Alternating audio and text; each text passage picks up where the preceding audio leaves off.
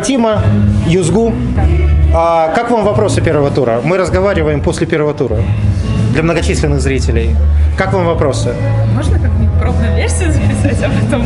Нет, нельзя. Сразу все пойдет в эфир. Уже идет в эфир. Все на Ютубе. Как вопросы? Вопросы.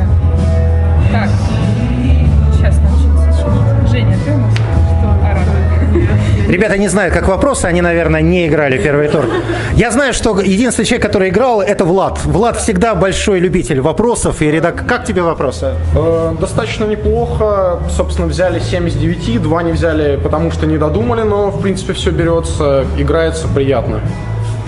А, в- вопрос такой. Многие команды, и студенческие в том числе, и школьные начинают, они тренируются.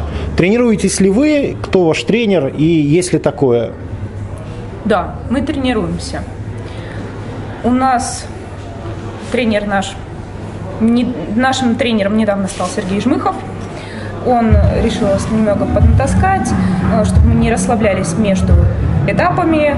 Мы отыграли несколько вопросов, поиграли, поболтали, в общем, настроились на игру, и теперь мы все в порядке.